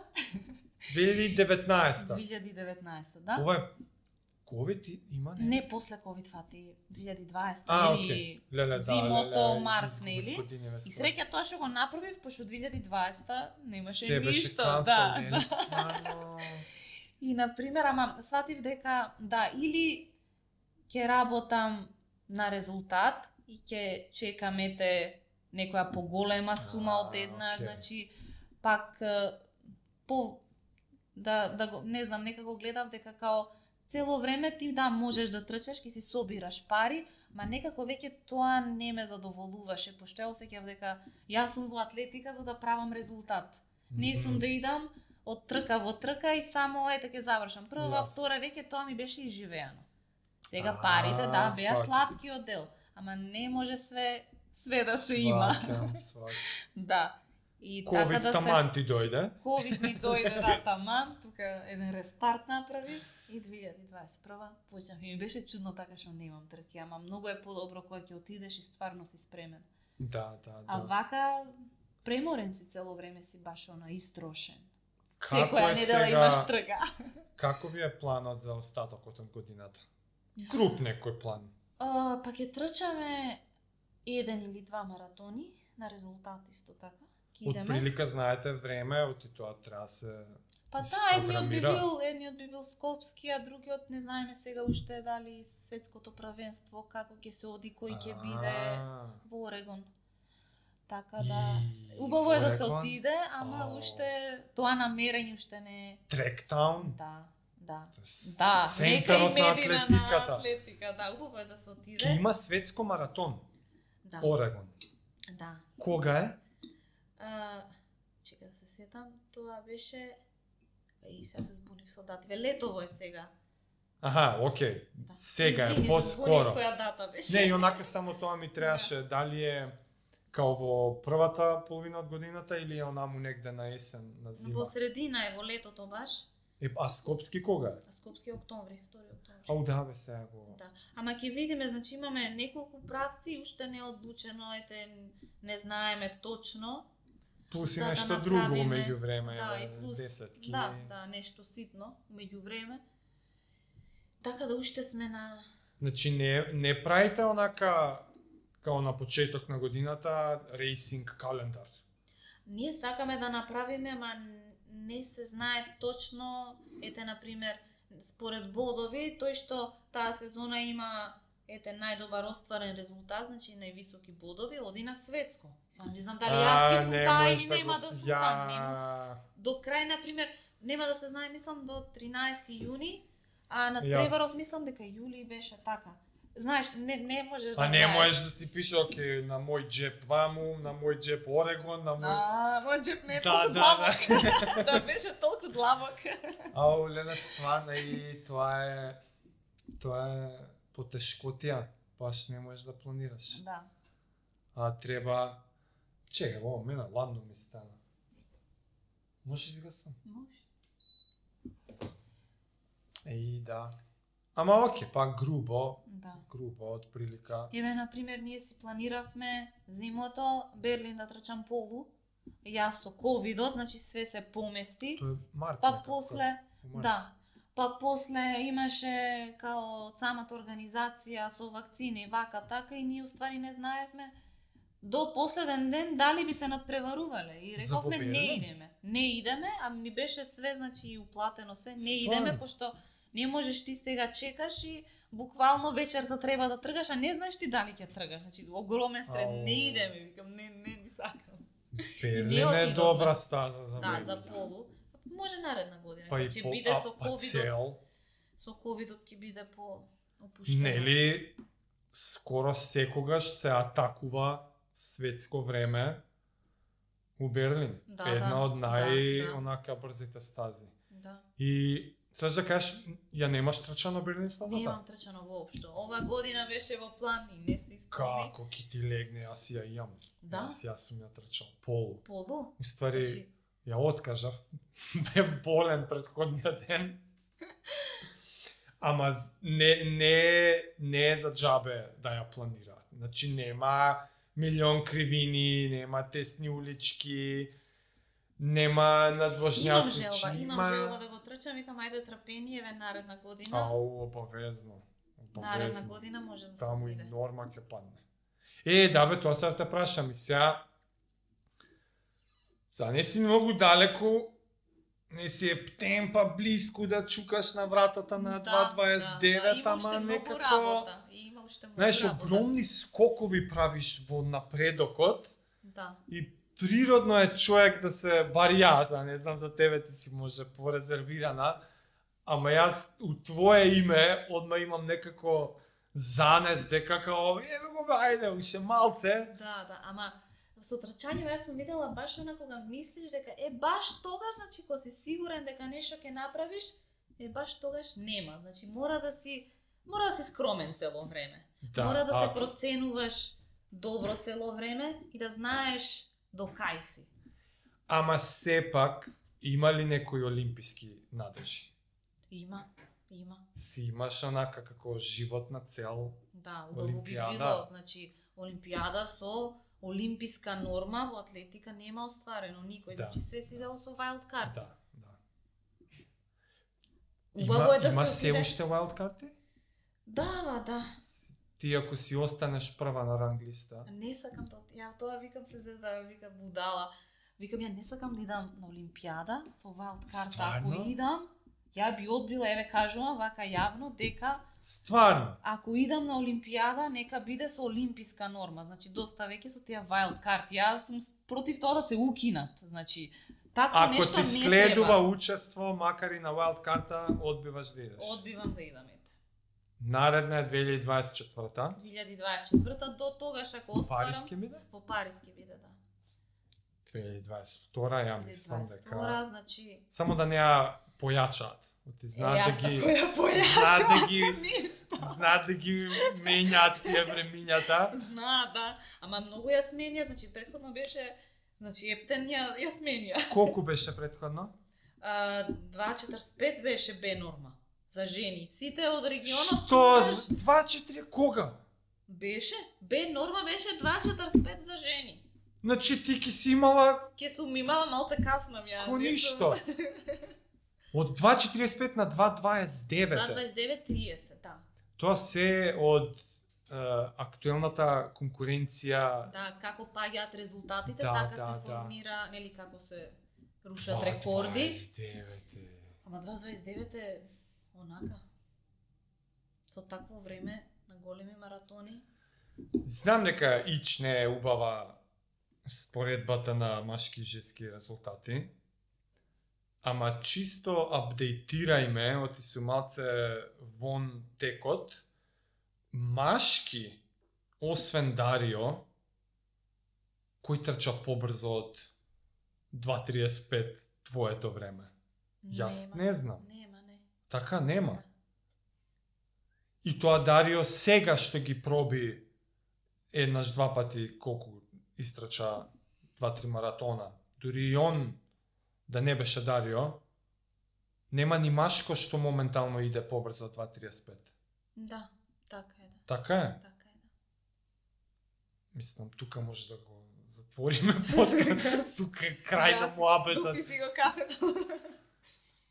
си правиш, с- значи стварно, а, ич не ќе така да правам споредби, И оти јас не сакам многу се, споредби, пошто да. се е релативно, Се врска е нема, релативно, да дали го појачува, дали ја зголемува вредноста или не, ама сепак мислам дека е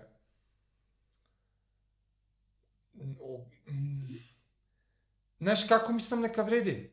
За добивање контекст, за популаризација во нетркачката популација на луѓето да сватат колку многу силен резултат е твојот. Само за тоа, ако Да. ми дозволиш, би сакал да да го да, ти- да го кажувам твоево време и во контекст на машките резултати. Само за тоа. Само, о ти знаеш дека луѓе што се ти што ги викаш антиспортисти, до толку се исклучени од што тоа стварно представува, некој да Да. истрча толку или Да. волку. Јас го кажувам, на пример, и ќе го кажам како, нели, 2.35 и едноставно не им значи ништо. Да, или О, супер не. резултат е тоа, значи. или име ко Ама они, ама заврши осмајде ќе биде Е, подобро. гледа, Они гледат само местото, подиумот. да. И сега да јас можела да изберам некој помал друг маратон кај што ќе бидам ај прва и со саат со 2.45 тете, ама прва, значи ништо Да, значи да. местото.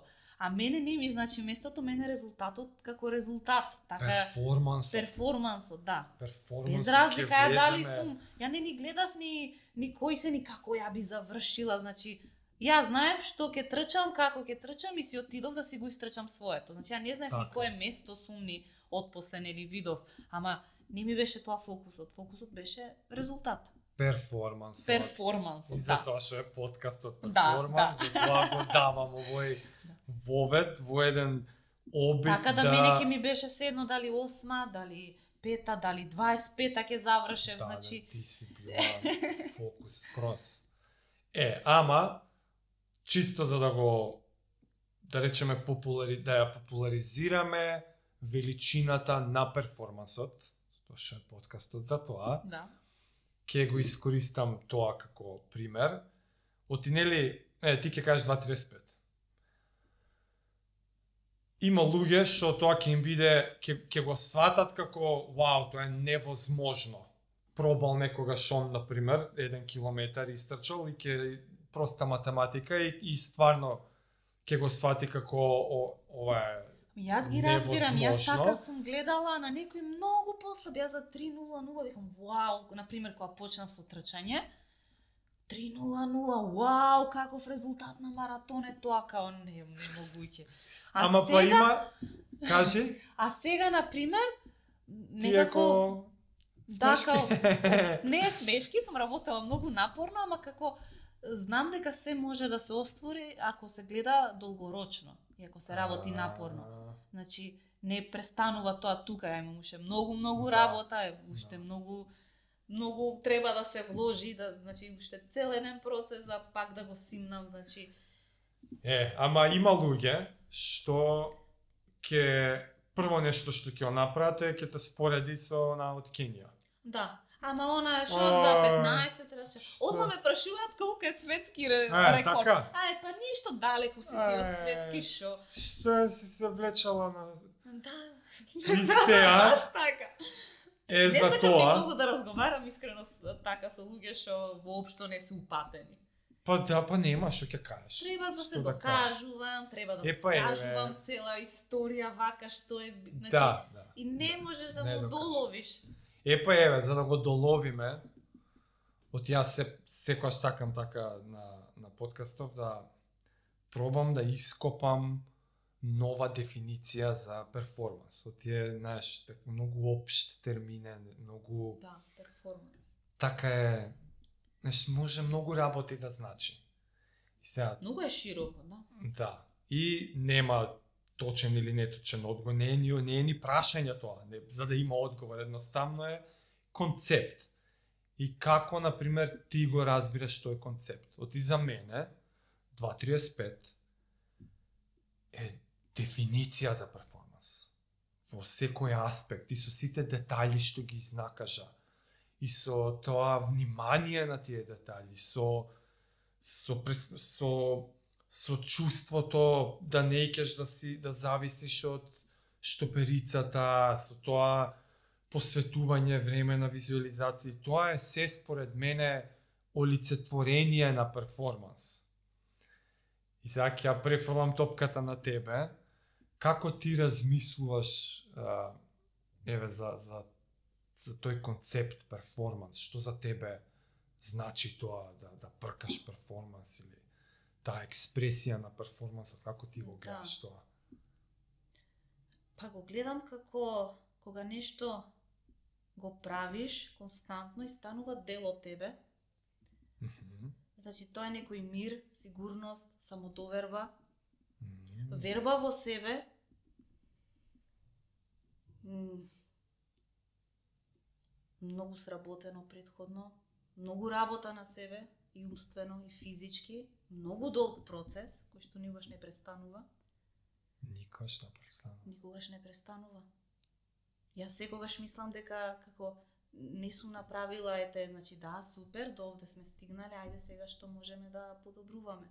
Што наредно, значи што треба да се вметне, што како Добро е, ајде сега, значи добро, тоа супер помина, ајде сега идеме на следно ниво. И знам дека следното ниво ќе бара уште повеќе од мене. И таа некоја ментална сила, верба во тренажниот процес, во себе, во сите тие нели тешки моменти, справување со себе, можам да речам дека и менталниот дел може многу повеќе од тој физичкиот. Да. Да. Дефинитивно морам да го нагласам посебно во маратонот без тоа ништо. М. Може многу да се збори, не, не Да. можам да, го срочам во три збора Нема, или во две, знам. две реченици, значи може многу да се збори. Ма буквално кога станува дел од тебе, ти носи некоја внатрешна внатрешен мир. Значи, стануваш едно со чекор, го, го, како, ти доаѓа природно. Едноставно така викаме, ми доаѓа природно. да го Многу- правам. Не, ова. не, не, ова е баш дел од, дел од мене и баш она многу убаво. Од ти секој пат со сите гости или бар со тие со кои што може не со сите, не знам, ама во тој обид да пробаме да дефинираме перформанс, секогаш искача нешто ново. И новото што, Што ти е новото? Се, новото што ти ми го посочи сега е мир.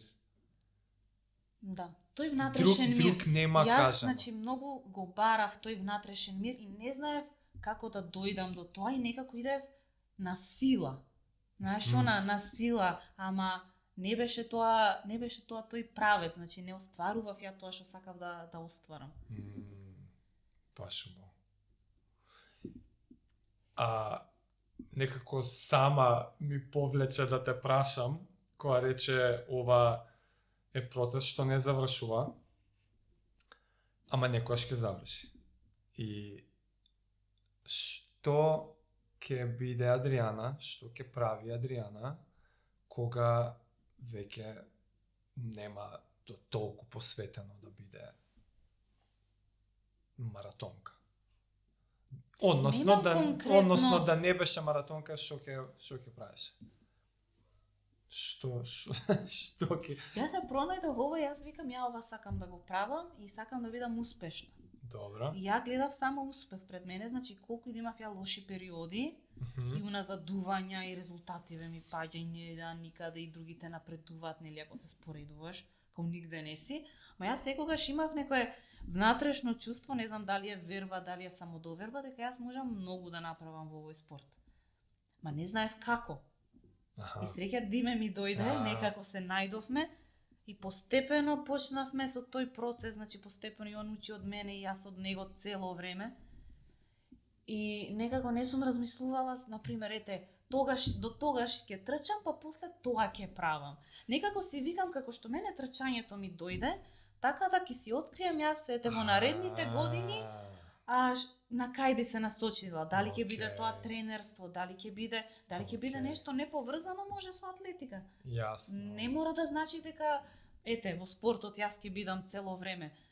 Не, баш Така да, е, си па викам, нека, нели, сега ќе размислувам на резултати, ќе си бидам, нели, ќе се остварувам колку што можам, повеќе наредните години, значи иако сум 32, планирам уште подолго време да го правам ова.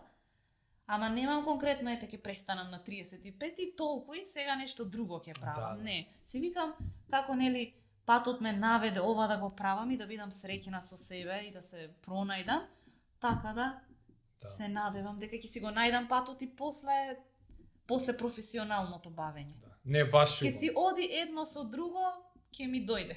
И така е, и Да. така е, Пошто стварно и сега баш убаво размислувам ми леле што одговори. би правела, ќе ми ствара само стрес, а не знаеш што ќе биде Да. за 5, 6, 2, 3 години. Така е и очигледно тоа ти одговара, тоа работи за тебе, тој начин на размислување ти лежи. Не го менувај, Да. немој ништо насилно. Ти посакувам за многу успех. Само да продолжиш и со истава позитивна енергија и со диме, со работки и уште еднаш многу ти фала за овој муабет. Ако сак, ако имаш нешто вака на како порака или како да им што би им кажала на некои еве девојчиња и девојки што можеби и они се мислат што да почнат, дали трчање во или спорт или некаква насока да им даеш во таа потрага по мирот на на помладите Имаш ли нешто да им... Па да не се Врачаш. водат толку од обшествените норми поставени, посебно за девојчињата, мора да се да завршиш, да се омажиш, да ваму да се вработиш и волку деца да родиш. Значи јас сум строго против тоа, освен ако тоа е нивна желба, а не притисок од општеството. Туку да пробуваат повеќе работи и да видат што ги прави среќни и што ги исполнува. Ако се најде една работа што ти исполнува, те прави среќен, се осеќаш дека си ти ти, ќе имаш успех. Ако нешто се прави на сила, значи тоа води само кон апатија, депресија и слично. така да нека прави секој тоа што го прави среќен. Супер. Одлична порака за крај. Фала ти ще еднаш многу, па до наредна прилика, се најдобро. Фала. Фала многу.